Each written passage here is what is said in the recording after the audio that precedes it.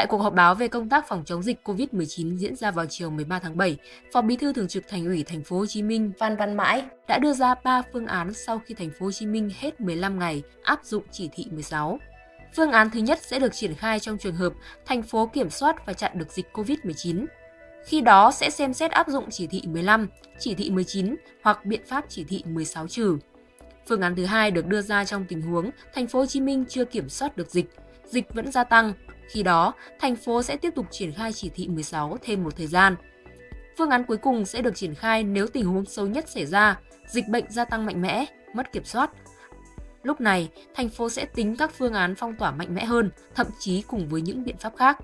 Thành phố đang nghiên cứu để đề xuất với cơ quan chuyên môn những biện pháp phù hợp với tình hình các cơ quan chức năng cũng phải thực hiện hết trách nhiệm của mình để đạt được mục tiêu chống dịch cao nhất. Hiện thành phố Hồ Chí Minh còn 10 ngày áp dụng chỉ thị 16. Phó Giám đốc Sở Y tế Thành phố Hồ Chí Minh Nguyễn Hữu Hưng cho biết, trong thời gian tới, ngành y tế thành phố sẽ phải cật lực thực hiện các biện pháp phòng dịch, bóc tách các mầm bệnh ở trong cộng đồng, lọc F1, F2 để truy vết không chỉ ở các khu phong tỏa mà còn ở các khu trọng điểm.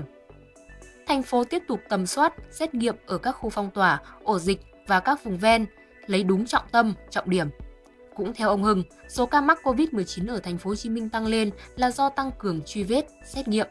Nếu các biện pháp triển khai quyết liệt cùng với sự đồng lòng của người dân, thời gian giãn cách xã hội sẽ góp phần giải quyết tình hình hiện nay. Tính đến tối 13 tháng 7, thành phố Hồ Chí Minh đã ghi nhận 16.573 ca bệnh, 10 khu cách ly cấp thành phố quy mô 15.080 giường, đang cách ly 7.977 người. Ngoài ra, thành phố có 19 bệnh viện giã chiến, hiện lập thêm 5 bệnh viện, quy mô tổng cộng gần 50.000 giường.